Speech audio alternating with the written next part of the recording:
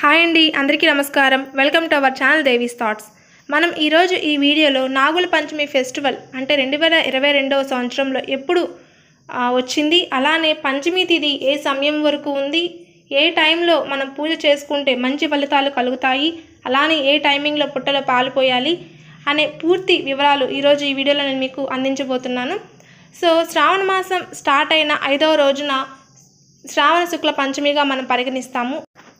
ఆ రోజునే మనం నాగుల పంచమి ఫెస్టివల్ని చేసుకుంటామండి.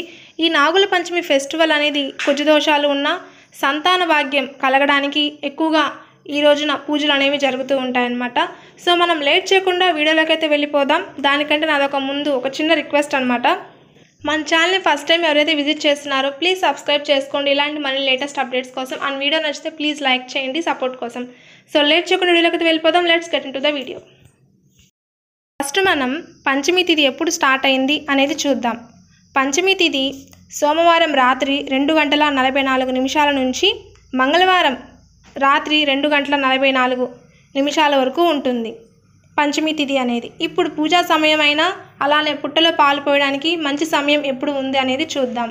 ఆగస్టు రెండు మంగళవారం ఉదయం ఐదు గంటల నలభై రెండు నిమిషాల నుంచి ఎనిమిది గంటల ఇరవై నాలుగు నిమిషాల వరకు పుట్టలో పాలు పోయడానికైనా పూజకి తగిన సమయం అని మనం చెప్పుకోవచ్చు.